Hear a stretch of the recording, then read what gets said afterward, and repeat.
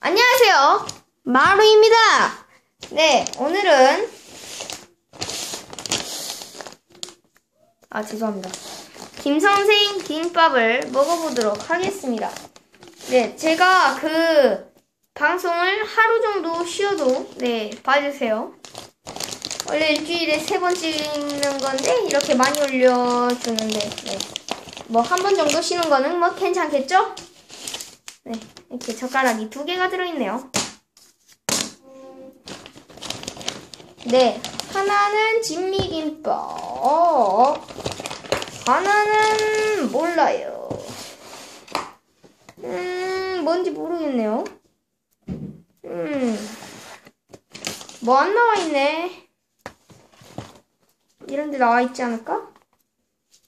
네, 안 나와 있고요. 이렇게 먹도록 하겠습니다. 네, 일단은 포장은 뭐 고급스럽게 잘 되어 있고 포장은 뭐 이렇게 고급스럽게 잘 되어 있습니다. 네.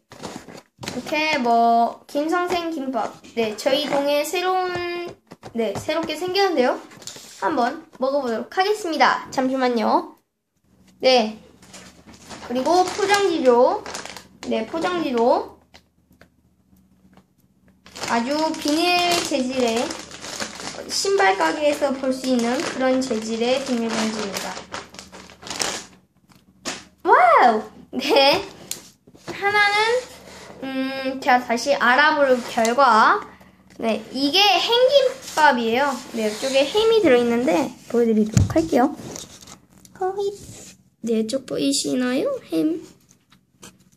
햄. 이렇게 있고요. 하나는 진미채 김밥입니다. 네, 보여드리도록 하죠. 축축축축 이렇게 생겼습니다. 네, 일단은 음 사람들이 진미채가 맛있다고 하네요. 네, 한번 먹어보도록 하죠. wow, 엄청 고급스럽게 보이네. 오, wow, 클라스. 이거 보시면 깜짝 놀랄 거예요. wow. 밥 안 먹으신 분들 죄송합니다. 한번 먹어보도록 하죠. 오! 나무젓가락도 클래스가 달라요. 네, 일반 나무젓가락이 아니라 뭔가 일본에서 사용하는 듯한 그런 느낌을 받았어요. 오! 어느 게 앞이지? 아, 이거구나. 오, 뒤쪽이 약간 좀 들어가 있어요. 네, 먹어보도록 할게요.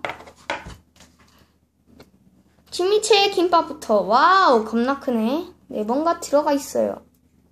이렇게 많은 게 들어가 있습니다. 당근, 그리고 뭐, 햄, 단무지. 아, 햄은 없고요. 네, 이거 빨간색, 이게 진미채인가? 한번 먹어보도록 하겠습니다.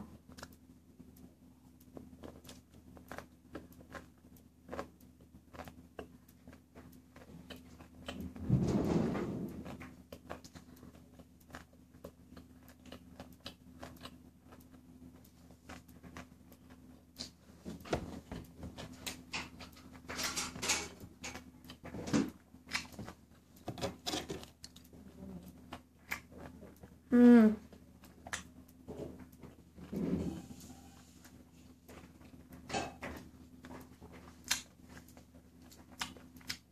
이 맛은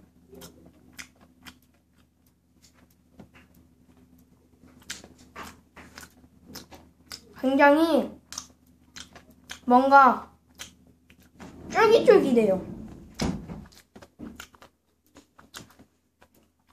뭔가가 떡같이 뭔가 쫄깃쫄깃하면서 일반 김밥보다 약간 좀 캡사이신 같은 아 고추장 고추장이 들어가 있는 네 그런 맛인데요. 네 쫄깃쫄깃해서 네 식감이 아주 좋습니다.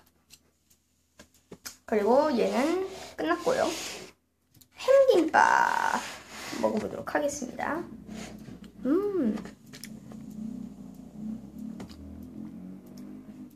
이렇게 생긴 걸 먹어보도록 하겠습니다. 이쪽은 햄이 들어가 있네요.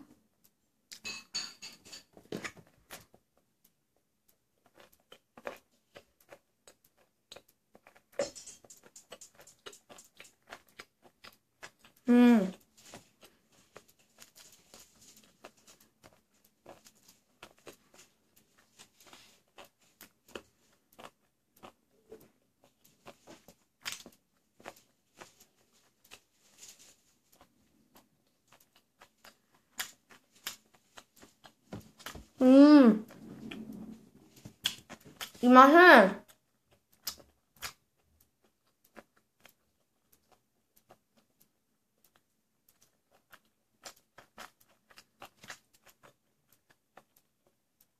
그거예요.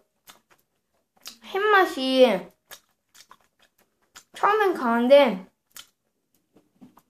가면 갈수록 오히려 야채 맛이 강해서 엄청 맛있습니다.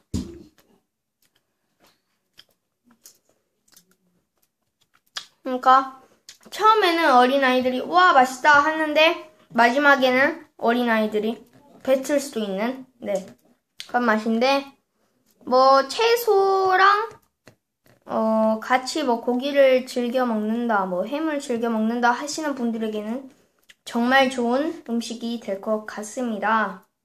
네.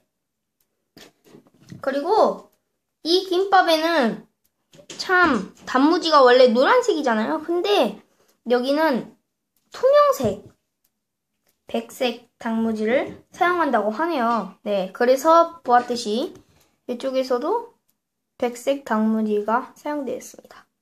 네. 이렇게 해서 김선생 김밥 리뷰 마치도록 하겠습니다. 안녕. 이 영상이 재밌으셨다면 추천, 구독 필수죠. 안녕.